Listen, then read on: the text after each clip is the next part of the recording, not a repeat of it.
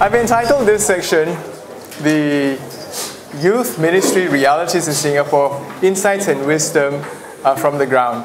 Now, basically, this report it's the complementary section of um, this quantitative um, survey which was done. Um, this study was actually done online, you know, so the responses were all online. We didn't have to go around. So, in, in fact, this was the first time any study done by One Hope was done online instead of getting people you know, to go visit churches and uh, speak to pastors, etc. So it was helpful because it was a lot uh, faster that way. But it was also problematic because we didn't get a chance to build relationships with people, uh, which I think is really, really important. Nonetheless, um, what we wanted to do is we wanted to do by the side a qualitative study uh, so that um, we could go and interview pastors and speak to them about the backstory behind uh, some of the findings. Um, and as a qualitative researcher, you know, you would say, oh God, please let the findings that you surface uh, complement and support what is uh, found in the, the other study, the main study, right? And gratefully, there were, there were quite a few complementary bits. Um, and there were, a, you know, a, a, little different sort of things that came out also, which was really good also, right? So what I'm trying to do today is I'm going to be presenting to you uh, the findings uh, which came out of this. Now, basically, there were six. Uh, there are six questions that I'm investigating, and of the six, uh, only four have been completed, uh, which is the reason why it's still in the draft form. I've identified um, you know, the, the main ideas, but I've not written up the stuff because of just time commitments. Um, there were 14 leaders that were interviewed. Um, 16, oh, sorry, six of them were from churches, and eight of them from youth organizations. Um, this is one to one and a half uh, to two hours uh, interviews that we spent with them. And then I'm working on the responses to the six research questions, but today I will be reporting just very briefly on four of them. Okay, so the six uh, questions that we were asking were, what are the aspirations of youth ministries in Singapore? What are the strengths observed in youth ministries in Singapore? What are the weaknesses observed in youth ministries in Singapore? And what qualities do the most effective youth ministries in Singapore, what qualities do the most effective ministries in Singapore have in common? Uh, number five, what are the opportunities presented to youth ministries in Singapore? And the final question, what are the challenges presented to youth ministries in Singapore? Now, of these six, as I said, I'm only reporting four the aspirations, the strengths, the weaknesses, and the challenges presented uh, to youth ministries.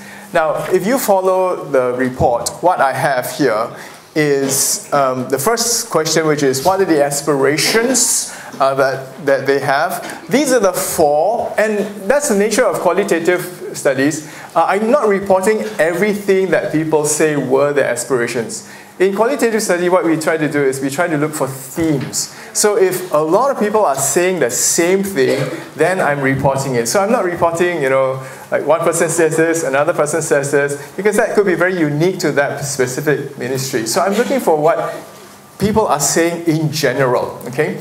So um, they, um, in terms of aspirations, churches are aspiring to lead their young people towards experiencing the love of God. I mean, that came out quite distinctly, distinctively. Building community, evangelism, Christian discipleship, and then youth leadership development. That was spot on. Uh, I have not reported that in here by way of the specifics, the specific um, a, um, things that the pastors or the leaders said uh, the final report will have that. Uh, I took out, because of the detail, because it's too thick, I, I took out all, you know, for every one of these, uh, there's a whole lot of data uh, which supports the idea, but that's not found in this particular report. Now, in the second one, which is the strengths observed in youth ministries in Singapore, uh, this is what came out. Uh, organizing large scale events is very consistent to what was reported, camps particularly, but not just camps, but also conferences.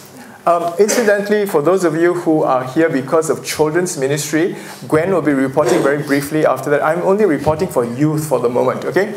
Uh, so, large scale uh, programs and events, uh, involvement in music, worship, and other creative avenues, a ministry that also came up, um, not just one person, but several, uh, building foundations to preaching and Bible teaching, that was what was uh, what leaders thought was a strength of churches and then uh, building community and relationships.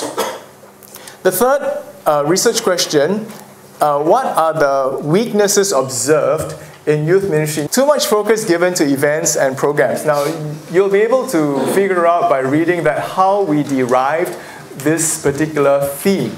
Uh, which is much too much focus given to events and programs, lacking relevance um, lack of mentors, role models, and spiritual parents, that was another one that came out. Uh, and then failure to reach out to social cultural others. That was something also that came out. Okay? So it's not that it's only four things that was reported, but these are the four that were very common, uh, which could be observed.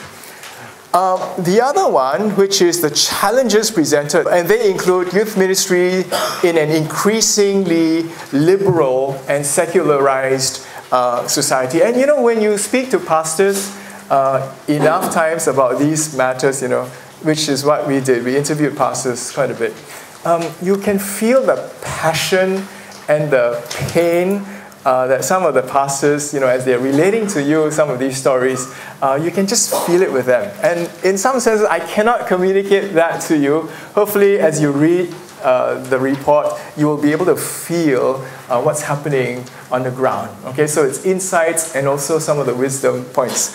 Uh, weak faith foundations that, uh, sorry, uh, the impact and influence of media consumption, that was another big thing. So if you notice it, the, the first three are actually quite related. That, that's all, it becomes like a package, you know, and then weak faith foundations come together with it. Academic demands from school, very, very big. I think we all know that. Those of you in that kind of uh, youth ministry, you will know that. The state of the family was also something that was reported was, that was of concern. And then discouragement and burnout amongst youth leaders. Uh, interestingly, I think if you look at the report, uh, not every past, not every church has got a full-time youth leader. And it's, it's very interesting. Well, that is the reality. We are also saying that's our next generation. That's the future of the church. And somehow the rhetoric and the money and the support is just not there. There's a bit of an incongruence that we find over there. And I think that's something for us to really seriously think about, about you know, putting resources. I think there was only one or two churches that I, that I uh, interviewed, pastors from those traditions that said, you know, our church is 100% behind the youth ministry. And when you count the number of staff and the resources they put into those youth ministries, it is true. Uh, it's not just rhetoric anymore. I mean, those ministries that are thriving, a couple of them that we talked to, they really put the money where their mouth is. And it's not small money, okay? It's really, really, they put the money there. And then poor partnerships with parents, uh, that you can read inside the report.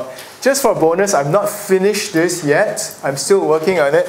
But the bonus is this. The opportunities, which is one of the research questions that we're looking at, uh, so far, the use of music and creative uh, arts and also schools ministries. I've already finished writing that bit out. But the rest I'm detecting the use of social media and new technologies, uh, uh, new innovative ministry formats, um, sports ministry, uh, cafe ministries, change perspectives through travel and mission trips, um, reaching out to the poor in society, reaching out to the second and third generation Christians, prayer and fasting, partnerships and cooperation among youth leaders in the city. That, that really encouraged me. Some of these things, in terms of opportunities, they really, really encouraged me because it's saying to me that you know churches are making effort and they are smelling out opportunities. They're not just letting it rest and allowing the you know all the the, the, the um, challenges overwhelm the churches. There are churches that are seriously innovative and they're doing something about that. And that gives me hope. That gives you hope. That gives all of us hope. It's also true and maybe that's true for some churches more than other churches, that le- leaders are beginning to talk to each other. uh, one of the things that you may have noticed that there's so many E names behind this project. There's ethos, there's ethos, there's this and that. Uh, and, and the great thing, and this was true in the JDOP too, what is true is that different body, national bodies and at a lower level, churches and denominations, churches are beginning to talk to each other. Church pastors, youth leaders are beginning to talk to each other and, and realizing that they cannot do it by themselves. So I'm really encouraged that that sort of movement is happening. And if, if uh, I'm going to get off the podium very soon, uh, but if there's anything that I could say to us and encourage us to do, is let's talk to each other and let's work together towards uh, the cause that we all in our own churches desire uh, to have. Okay.